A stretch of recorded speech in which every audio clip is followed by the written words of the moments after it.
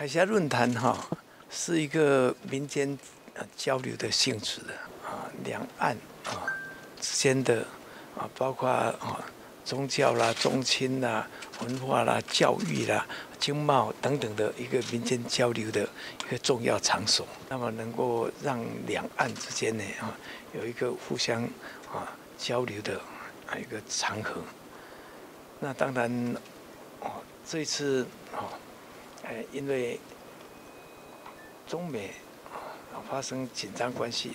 连带呢，这个台湾当然也是啊，呃相当程度的啊一个啊这个有疑虑的地方可能被卷入，所以哈，呃蔡总统也讲说，希望不要擦枪走火。他是说这个哈一个等于宣誓性的嘛。这是依据法律规定，他所做的一个啊，等于啊，告知大家法律是怎么样啊，所以呢，这是一个提醒啊，他没有不要我去的意思，没有啊，从来没有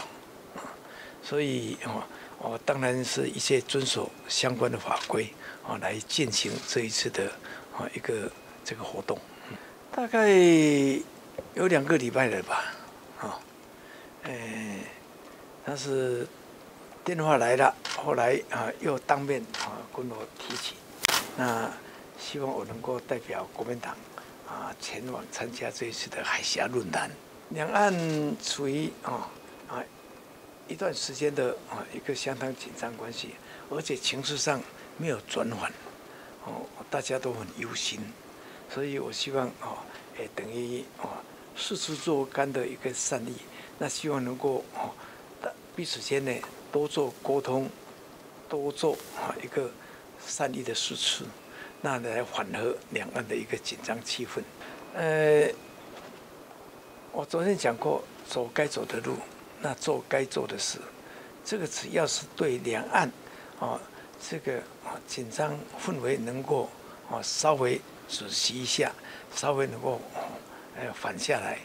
啊，那对两岸的这个和平，总是啊会出现一些好的契机。我想这个都是该做的事，也是该走的路。所以呢，外界怎么看，当然我们给予尊重啊。但是呢，啊，尽其在我，我们一切啊都是啊为啊两岸的一个和平来着想。